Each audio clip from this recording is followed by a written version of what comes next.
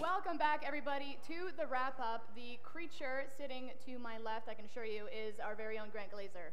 It's me! Ta-da! Ta-da! I, I didn't run away. Well, well, Ali, um, you know, what a great show, firstly. Yeah, really good show, but pray tell, why the mask? The mask, you know what? Um, I was informed before the show that uh, in a few days, Yeah.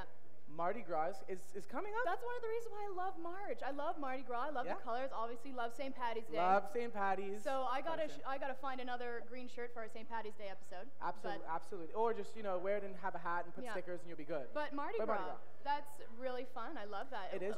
The whole thing, I'm not so sure about the specifics, but it's a big celebration. I know that it means Fat Tuesday in I was gonna ask, what it exactly is Tuesday and Gras is fat, so Fat Tuesday. And I know that uh, I believe uh, l- the Carnival, I think it is, happens during Mardi Gras. Well, it's a very big celebration Huge with like Cajun Yeah. music, uh, you know, beads. Beads, lots of some beads. sorts. um, and it all takes place in New Orleans. So and you know, we like to celebrate it, obviously, up here as well.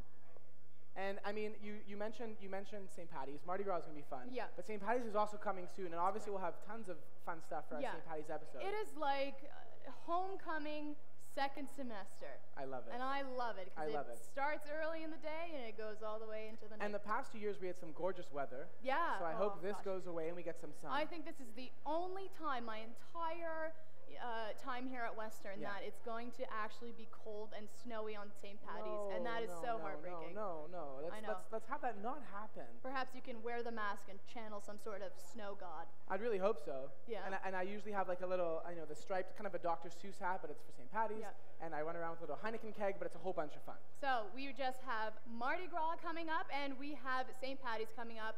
All in March, so our March episodes are definitely going to be really, really great.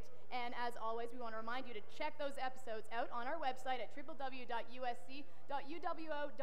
slash Big Purple Couch. And as always, we love having you guys out here in the Spoke at 2 every Thursday. And of course, lots of fun stuff still coming on BPC Radio, 94.9 CHRW, 630s on Wednesday. Thanks for getting cozy on the Big Purple Couch.